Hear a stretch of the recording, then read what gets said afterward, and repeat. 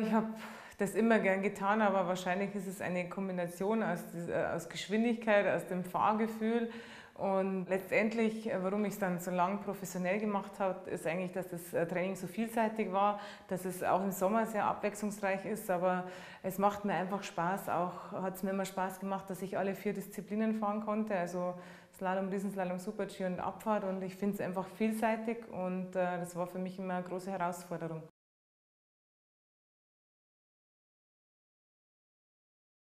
Also, dass ich Patin bei Pistenkids äh, geworden bin, das, das, liegt auf der Hand, weil ich natürlich den Skisport sehr gerne betreibe und an meine eigenen Kindern äh, und aber auch an andere Kinder diese Faszination weitergeben möchte.